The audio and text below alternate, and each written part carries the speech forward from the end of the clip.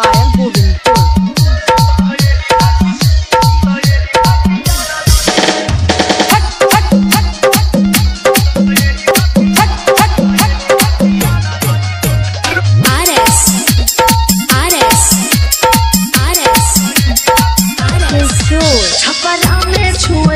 तो बाकी बनिया से मन हमर खुश न भइल